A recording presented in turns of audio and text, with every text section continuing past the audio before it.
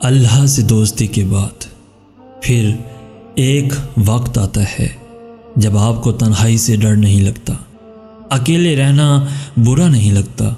आँख में से लोगों की वजह से आँसू नहीं गिरते, होठों पर हर वक्त मुस्कुराहट रहती है।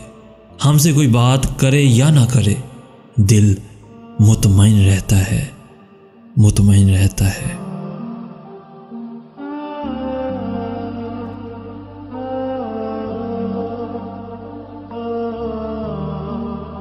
प्यारे दोस्तों, अगर आज का मैसेज आपको पसंद आया है तो अपने दोस्तों के साथ ज़रूर शेयर कीजिएगा। और ऐसी ही वीडियोस रोज़ाना हासिल करने के लिए हमारा चैनल ज़रूर सब्सक्राइब कीजिएगा। जजाकल्ला खैर।